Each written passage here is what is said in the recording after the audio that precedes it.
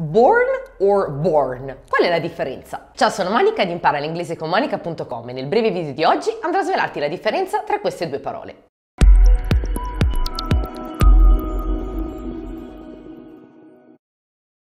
Born, scritto in questo modo, significa nato. In inglese infatti potremmo definirlo come having started life. Una frase che vede questa parola protagonista potrebbe essere Jane was born in March. Jane è nata a marzo. Born, scritto invece in quest'altro modo, significa a carico. È quindi un sinonimo di carried e una frase che vede questa parola protagonista potrebbe essere This risk is actually borne by the state alone. Quindi il rischio è in realtà a carico del solo Stato. Bene, per oggi è tutto, io ti aspetto alla prossima lezione per una nuova coppia di Confusing Words.